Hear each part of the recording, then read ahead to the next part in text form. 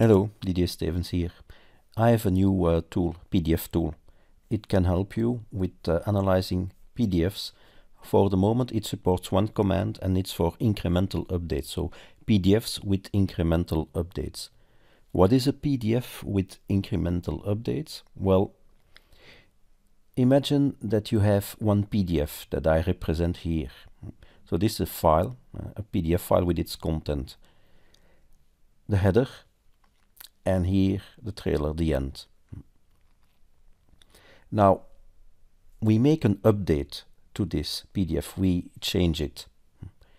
What will be done often is that the content here of the file is changed, uh, uh, modifying objects, adding new objects. But this can also be done with incremental updates. And with an incremental update, nothing is changed to this PDF file.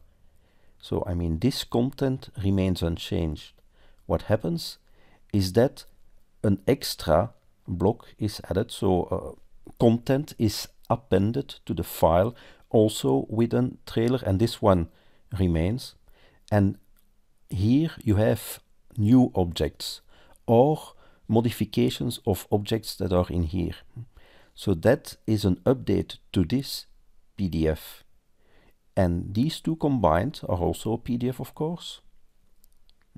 And that gives you the new version of the PDF.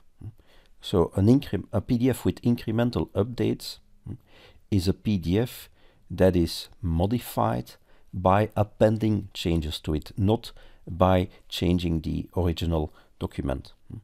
Now I do this here in this example with one update. Of course you can have many updates and they are just appended like the first one here.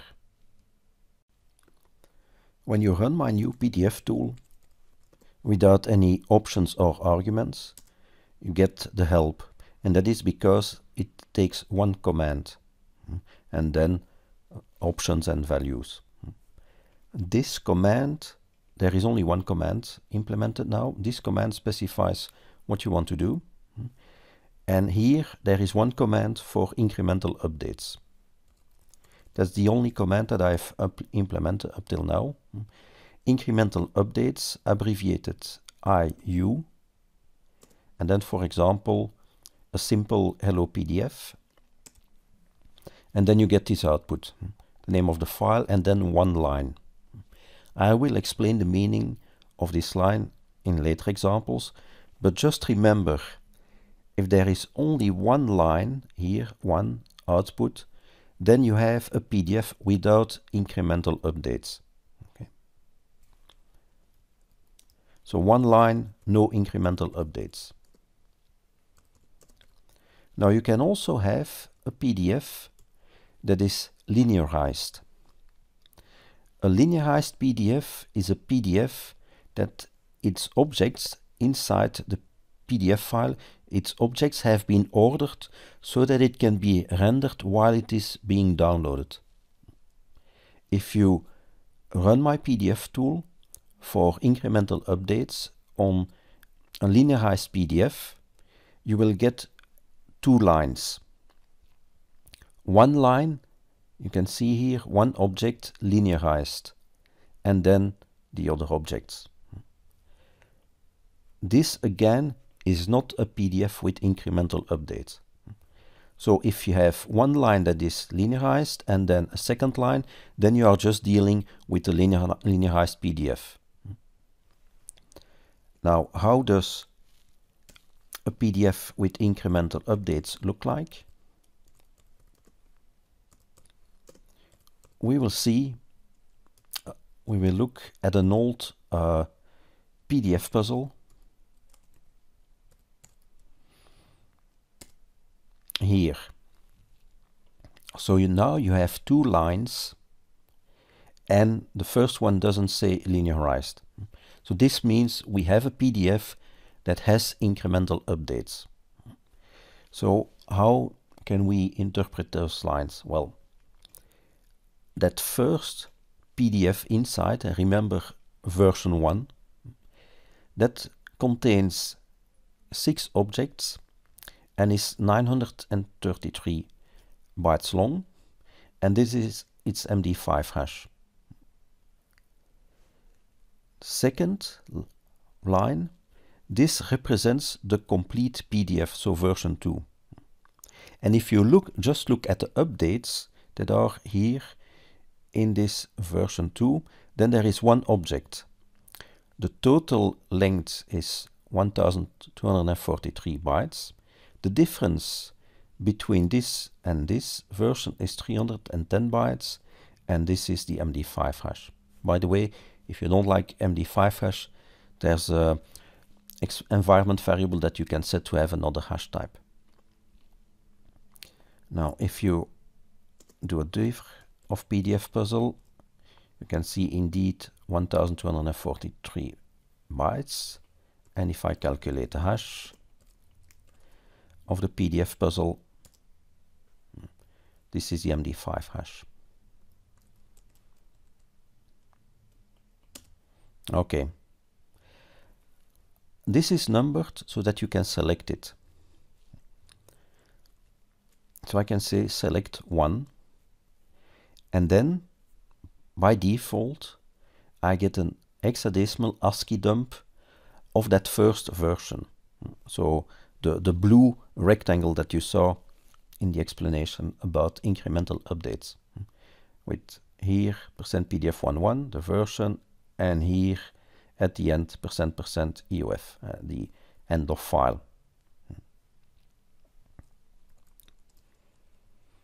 if you select 2 then here you have the complete PDF an hexadecimal ASCII dump of the complete PDF so PDF 1 1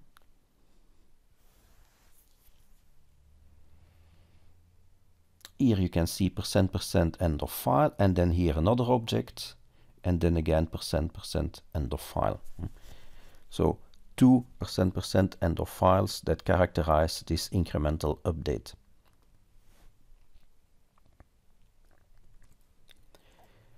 You can also select just the difference, the delta, and that is by selecting object, uh, sorry, entry 2 d, d for delta or difference, and then you just get here what is different. So this is the orange part. While what we selected before here, let's select 2, that was the blue part and orange part together, at the complete PDF. Now, why is this interesting? Why can you use this tool? When you can use it to recover previous versions. If we take a look at PDF Puzzle, Here you see the passphrase is XXX. So this was a very old puzzle that I made. And to recover the passphrase, you actually need to go back to the previous version. In the updated version, so version 2, let's say, uh, the orange part, this is the text XXX, so you cannot read the, the, the passphrase. While if you go back to the blue part, then there is an object here that tells you what the actual passphrase is. So I can use my PDF tool. I say incremental update. I select the first line. And now instead of doing an ASCII dump, I'm doing a binary dump of that PDF puzzle.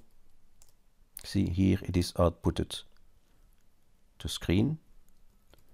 I can also store it in a file, PDF puzzle version 1.pdf, like this.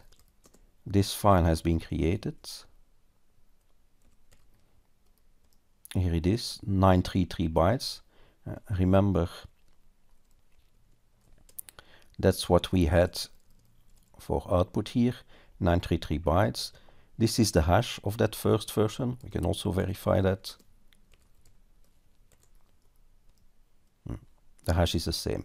Okay, so with this tool now, I have extracted that first version. And I can just display that, open it with a PDF reader, and then indeed here you can see the passphrase. Uh, so that was the solution to my simple puzzle Back then, of course, you didn't have that tool. You had to do it manually. But now you can do it with this tool.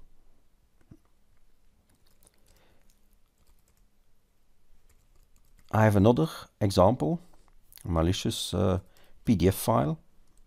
So incremental updates here for that malicious PDF file. And here you can see that this is one that has a linearized object and then different versions, incremental updates. So this is also an incremental update. This is an example of an incremental update that is also linearized. So if you have linear, linearized, but then more than two lines in total, then you also have an incremental update. Now this example here, uh, I also wrote a blog post about it long time ago. It's about uh, shoulder surfing uh, malware router who is trying to make his PDF work because you can see here in these different PDFs the, the different uh, JavaScript versions that he is making.